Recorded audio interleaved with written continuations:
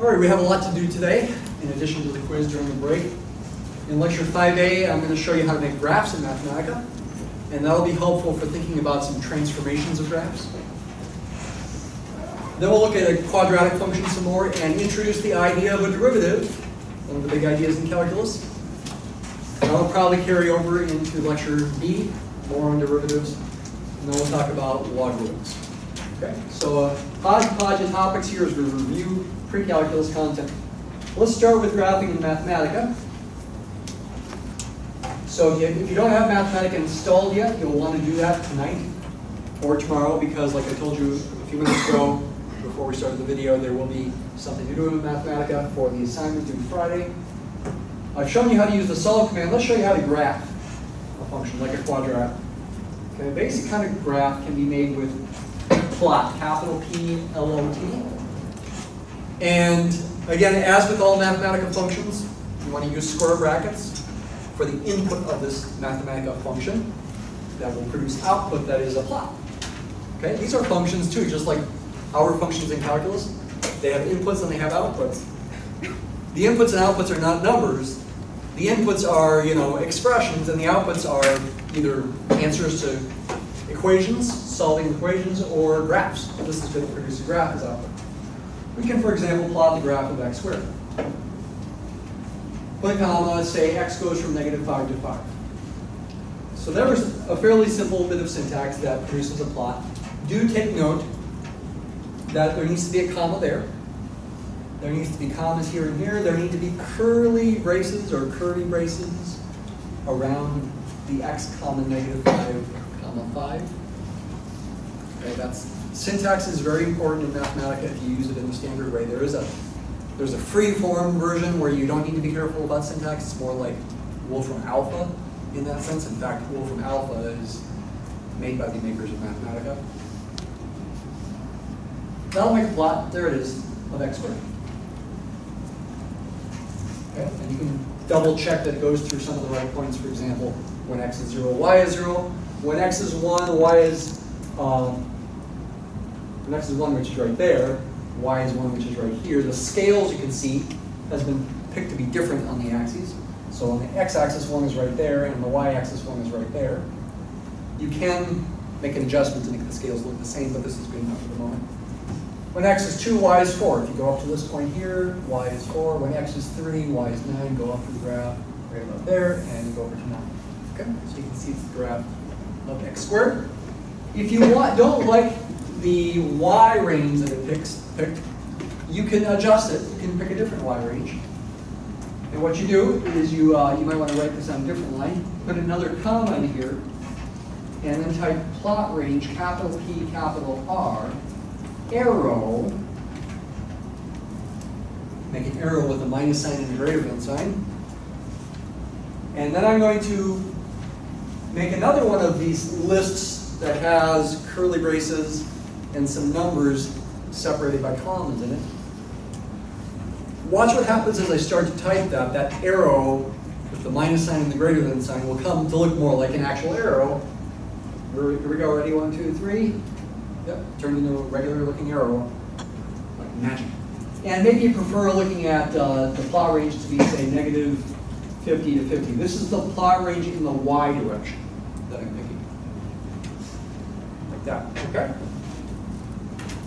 So you can modify the plot range. You can also color the graph to make it, for example, look thicker and maybe some different color. I can do another comma, uh, plot style, capital P, capital S, arrow, and then inside curly braces, maybe thick, comma, red. We'll make it thick and red. So again, pay attention to details. You put commas between things.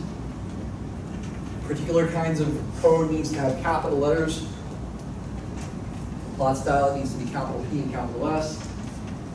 Put the arrow with a minus sign and a greater than sign. Then in the curly braces, put thick and red, and we'll make it red. There we go. Okay. There's much, much more you can do with it as well, but this is good enough for starters. However, so I'm going to have you probably for next Monday make some plots, not for Friday, but for next Monday. Um, uh, there's something else I want to show you today. that's going to help us understand transformations of graphs a little bit. I'm going to go ahead and just copy and paste this whole thing. So I'm about to do Control C for copy and Control V for paste. By the way, I've said this before, when you want to enter code, you do need to make sure your cursor is on the same line, the same cell essentially that you see over here, before you hit Shift Return to do the entering. I'm going to embed this in another function. It's one of my favorite functions. It's called manipulate. Manipulate, I gotta spell it right though. And remember, as with all Mathematica functions, it needs square brackets around its input. Its input, you can see, is this plot.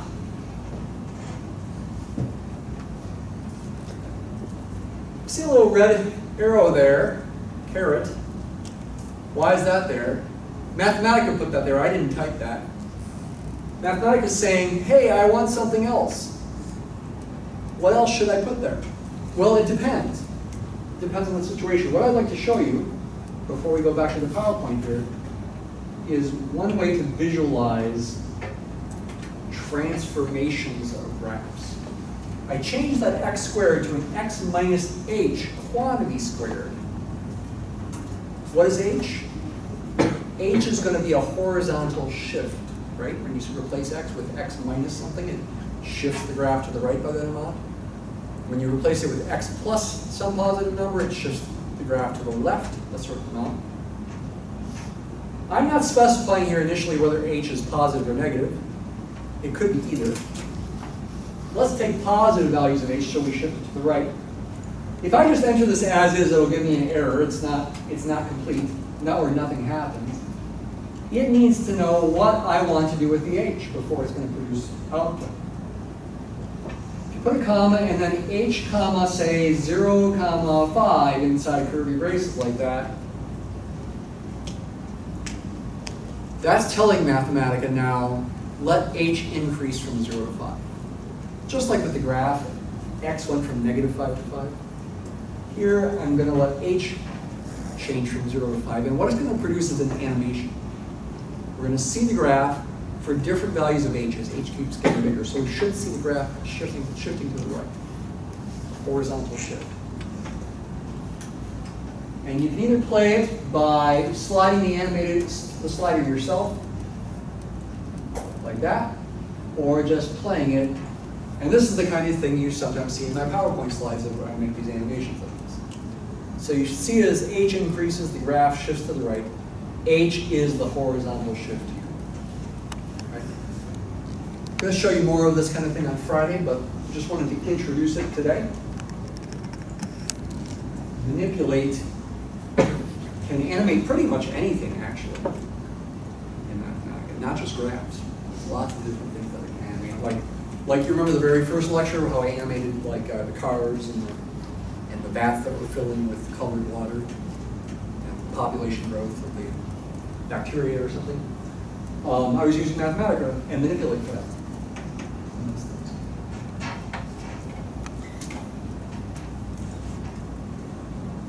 Okay, so that's a little introduction to graphing and Mathematica. Let's talk about quadratic functions and ultimately derivatives here.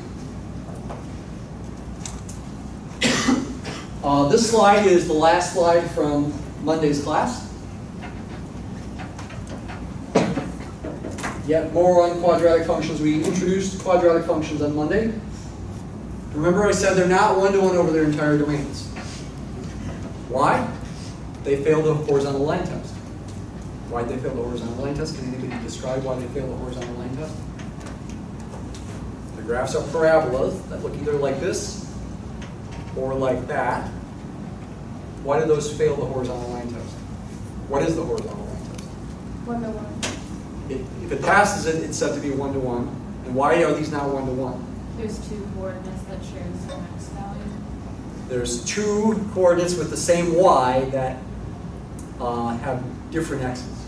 Yes, show different x values. Like, for example, Yeah. say alpha of x equals x squared. It's, it's easy to not quite say it right. There's two points on here, for example, at the output four, both the inputs negative two and positive two give you an output of four. And that horizontal line at y equals four passes through the graph more than once. And if that happens, that means it fails the horizontal line test. It's not one-to-one, here you have two separate numbers that get mapped to the same one number. You might say it's two-to-one, since two separate numbers going to the same number. So it fails the horizontal line test. There are lines that go through more than once. But we can maybe restrict the domain. Consider just half a parabola or something like that. If we restrict the domain appropriately, we can, it can become one-to-one. Like I just said, restrict the domain so the graph is just half of the parabola, for example. Putting the quadratic form, the functions formula in vertex form is the most convenient way to do this. I'm going to look at an example. We're going to look at the example actually that I, of the answer key for that physics problem that I shared with you, and I'm about to show you again here, yesterday. You got to be careful what the inverse function is, though. You got to think about the domain you pick, because that's going to become the the range of the inverse function. You got to think about that kind of thing. It's kind of tricky. So here's our free fall example. Uh, in non-standard units, okay, this is in feet. Don't use feet in science classes, okay? But it makes the numbers come out a little nicer here. The height of an object. This object is going up and down. Its initial height is two feet. About this high off the ground.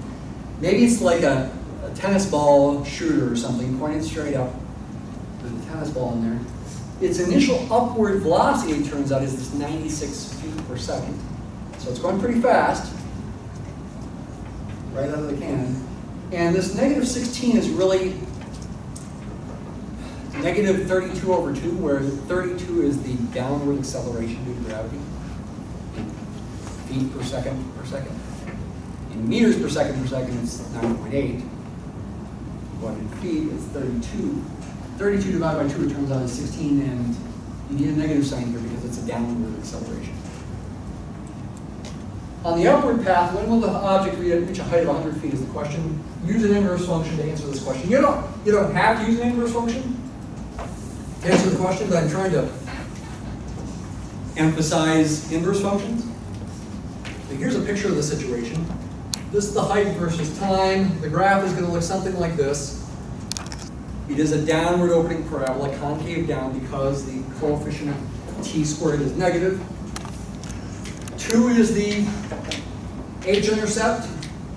And 96, like I mentioned yet, um, Monday, is the slope of the graph at t equals zero. The rate of change, the derivative the slope of this line that I made, which is called the tangent line. Slope equals 96. That line that kind of follows the graph right there. This is in feet. Technically, the slope is in feet per second. 100 is up here somewhere. This picture is not to scale. Not a very accurate picture. Okay. We're trying to find where on this upward path, time do we reach a height of 100? By the way, the motion is straight up and straight down. It's not, doesn't have a horizontal part to its motion. This is not a graph of the height versus horizontal distance. It's a graph of the height versus time in seconds. The motion is actually straight up and straight down.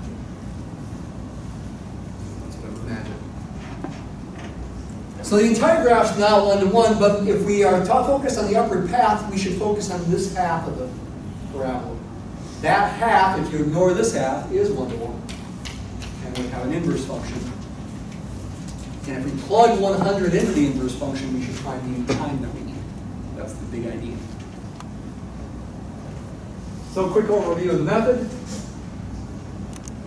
Complete the square to put the formula in vertex form. So I suggested watching Khan Academy videos about this if you don't remember how to do it. It is something you should know how to do for the exams. If the coefficient of t squared is not 1, which it's not here, it's negative 16, you should factor that out of the first two terms. Now I picked 96 here because 96 is divisible by, by 16. If I had picked a different number, like 100 for example, then the number right there would not have been so nice. But I purposely picked 96 to make the numbers nice. 96 is 16 times 6. And in factoring in negative 16 out, the coefficient of the t squared right there becomes positive 1. The coefficient of t there becomes negative 6. So when you multiply that negative 16 back through, you got to get this. Leave the plus 2 out there. And here's the method. Once you've done that, take the coefficient of the t, which is negative 6, divide it by 2, and square it. Say that again. Remember I wrote that down? Take the coefficient of t, negative 6, divide it by 2 to get negative 3, square that to get positive 9. Okay, I probably should have. Negative 6, divide by 2, you always divide by 2, whatever it is, square, get 9, and then put the 9 in there, inside the parentheses, plus 9. Wait a minute, is that allowed? It is allowed as long as you compensate for adding the 9 in there, which really means you're compensating for adding negative 16 times 9. You're really subtracting 144. 16 times 9 is 144. So to compensate, I need to add 144 on the outside, like this. Right there. That compensates for the plus 9 there with the negative 16 there. Negative 16 times positive 9 is negative 144. I need to cancel that by adding 144 here. You may be used to doing this on the other side of the equation. And there is another side of the equation here, it's the h. I could have subtracted 144 from the h, but then I had to add it to both sides anyway, since I'm trying to have h as a function of t here. Although, it might have been better to have it on the other side, I misspoke actually, because we need to solve for t anyway. Question? Um, Why do you have it on the outside of the parentheses? Uh, 144, is that what you're talking about? Yeah. Um, I'm putting it out there to compensate for the subtracting of 144 because of negative 16 times positive, positive 9. I want to put it out there because I want to combine these constants to to get the 146. It's going to turn out that when you use this method, this thing will always be a perfect square. Because in fact, if you think about it, t minus 3 times t minus 3, it's t minus 3 squared. And that tells you that this vertex, the high point of this parabola, must have coordinates 3, 146. That's why I want the 144 out there, so that when I combine it with 2, I get 146. And it's the second coordinate of the highest point in the graph. Why? You should be able to answer why. Give an explanation. If, if this were like a graded problem, or if it were on the exam, and I ask you, based on this, why is that the highest point in the graph? You have to explain. Here's how I would explain. I'd say, hey, well, no matter what t is, t minus 3 squared is greater than or equal to 0. We're not dealing with imaginary values of t here. So we can't get a negative number when we square. That means negative 16 times t minus 3 squared must be less than or equal to 0, no matter what t is, for all t.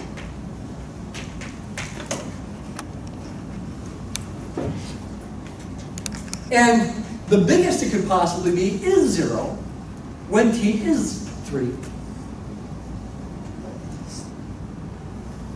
Therefore, coming back here, this function is always less than or equal to 146. And the biggest it can be is 146 when t is 3. Okay? This part must be less than or equal to 0. And it equals 0 when t is 3. Therefore, this entire thing must be less than or equal to 146. And it equals 146 when t is 3. It's got to be the high point in the graph. And as far as restricting the domain goes now, this part of the parabola is when t is less than or equal to 3. So that's what I want to do as far as restricting the domain, to find the inverse function. Restrict the domain to the set of all t where t is less than or equal to 3 and solve for the inverse function. Solve for t as a function of h and don't, do, don't swap the variables, that would be a bad idea. Because they mean something here. t is time, h is height. Solve for t. So I do end up, actually I, I end up putting the six, negative 16 t minus 3 squared on the other side as a positive and subtract h from both sides and then divide by 16. I did a couple steps there. Say it again, I added 16 t minus 3 squared to both sides to get it over on the left side and cancel it on the right. And then I divided both sides by 16. I also subtracted h from both sides. I guess it's three steps that I did from here to here. t minus 3 squared, I want to solve for t, I need to take the square root. Square root of this is the square root of the top divided by the square root of 16. The square root of 16 is 4. I also added 3 to both sides, so I did a couple steps there. And I picked the minus square root. Why did I pick the minus square root? Why not the plus?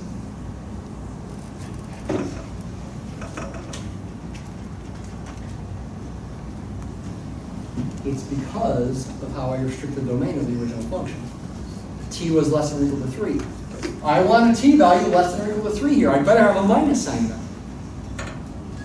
If I put a plus sign, it would be bigger than or equal to 3. That's why I put the minus sign. Then you plug h equals 100 into that, and the answer is about 1.304 seconds. And here's a way to uh, graph it. You can graph it either way. So this is the original parabola right here. h is a function of t. When does h equal 100? It equals 100 when t is about 1.3. In terms of the graph of the inverse function, notice I'm not graphing it in the same picture. Because I want to keep the meaning of the variables the same. H represents height, t represents time. I did relabel the axes. Now t is a function of h. And if you graph that square root function, it looks like this. You can try it on your calculator. I'd suggest trying that on your calculator after class. You'll see a graph that looks like this. When h equals 100, t is about 1.3. It represents the answer to the problem. Just different ways of viewing things.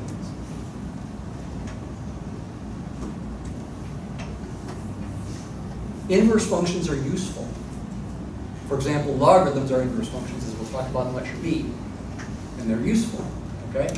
They're useful for problem solving, problem solving tools.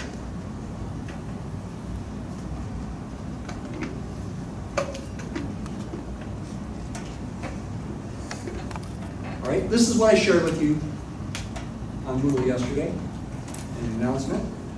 You got in your email. I'm going to go on to the next slide. We'll start working our way toward the idea of a derivative here. Okay? Let's first talk about some limits. We've talked about limits already. If a is positive, I'm talking about your arbitrary quadratic here. f of x equals ax squared plus bx plus c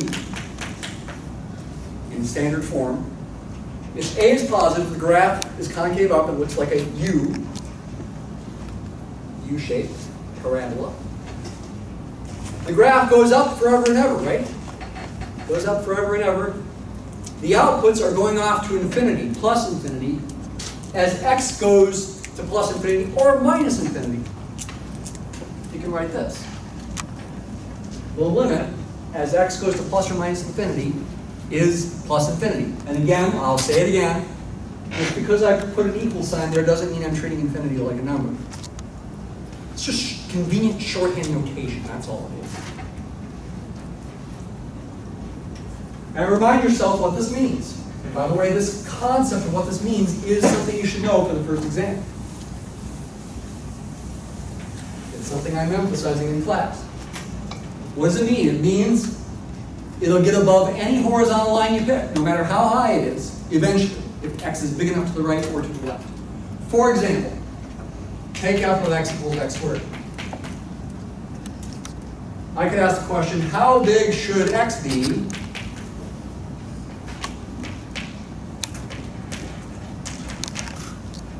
positively or negatively? Be big and positive if you're far to the right of zero. You can be big and negative if you're far to the left of zero. Positively or negatively,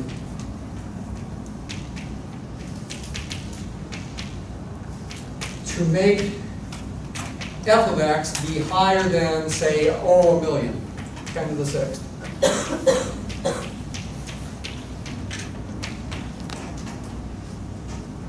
It's just a matter of solving this inequality and seeing that the logic goes, goes both ways. f of x being greater than or equal to a million is equivalent to x squared being greater than or equal to a million.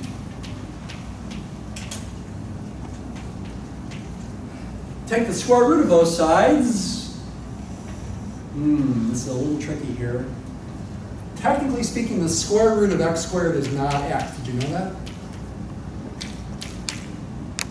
Wait, what? Isn't that true? Aren't they equal? Not if x is negative, they're not equal. Technically, it's equal to the absolute value of x. Tricky, tricky. Whether x is positive or negative. That's what you want to think about here. This is equivalent to the absolute value of x being greater than or equal to the square root of a million, which is a thousand. And that is equivalent to either x itself being greater than or equal to 1,000 or x being less than or equal to negative 1,000. And this logic is reversible. So if you want to get above a million, then pick x to be either bigger than or equal to 1,000 or less than or equal to negative 1,000. Then you can say this is true, then you can say this is true, then you can say this is true. But a million is arbitrary. I could have picked, instead of 10 to the 6, I could have picked 10 to the 100, a googol. Square root of a googol, do you know what that is? Well, it doesn't have a name as far as I know, but it's 10 to the 50th. To the 50th times itself, you add the exponent and get 10 to the 100. By the way, a googol, 10 to the 100, a one with 100 zeros after it, is more than the number of atoms in the observable universe. That's how big it is. More than the number of atoms in the observable universe. That's how humongous that is. But this function gets higher than it by making x greater than or equal to 10 to the 50th or less than or equal to negative 10 to the 50th. So this is arbitrary. You can do it for no matter how big you pick a number there, this is true when the function is x squared. It's also true in this general situation as long as the a is positive. What if a is negative? Then we go off to minus infinity because the graph is a parabola opening down. Upside down u. You can get lower than any horizontal line by making x big enough to the right or to the left.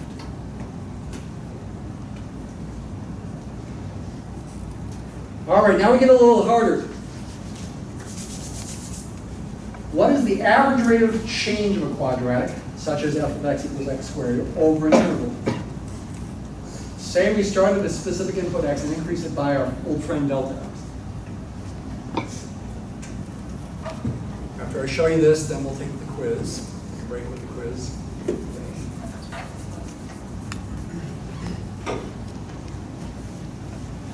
Average rate of change, what's that about? Have we talked about that before? We did the first day of class, the first lecture. We talked about distance equals rate times time. And I said much of calculus is just a generalization of that equation. We're doing a little generalizing right now. That's equivalent to rate equals distance divided by time. And as, if you're going at a constant rate, this equation gives you your constant rate. But it gives you an average rate if your speed is changing. If you're going fast and slow and fast and slow and fast and slow. It gives you an average rate. That's what this is about, an average rate of change of a quadratic. In this case, we are taking the f of x x squared. It's, it's really a, a slope it looks like, doesn't it? Change in y or change in x. Change in y is the distance, change in x is the time, you say. But wait a minute, quadratics aren't straight lines. They're parabolas. This is not going to be constant. It will change. Depends on what x is. It also depends on what delta is. So what do you do with it? You calculate this fraction. The change in y is up there. There's the change in x. This is why we emphasize the skills test again, the placement exam. You should be able to deal with these, these kinds of symbolic things. The function's x squared, so I take whatever's inside the parentheses there and I have to square it. Then subtract the function output itself, x squared. Simplify. What happens when you simplify? You get this. So I, I use FOIL here. This is x plus delta x times itself. Remember, delta x just represents one quantity. It's not delta times x, it's delta x. x times x is x squared. x times delta x, another x times delta x gives you two x times delta x. And then you have delta x, last times last quantity squared. Don't forget the minus x squared over on the right. Now cancel, simplify the x squareds, or, or cancel them. After you cancel those, what's left on top, each term has a factor of delta x that can be factored out, like that. Uh-huh. Um, why did you multiply the n by just delta x plus delta x squared? Why did I do this? Uh, no, over to the left, uh, right there. Right here. Yeah, um, instead of just doing delta x squared. It's not equal to delta x squared. It's from the uh, O and I of FOIL, outside times outside, and inside times inside, they're both x times delta x. And you got two of them that are being added. So you get two times x times delta x. All, Then divide out the delta x's. It simplifies to that, at least when delta x is non-zero. If delta x equals zero, then this is undefined. Can't divide by zero. That's nice, that's, that's pretty simple.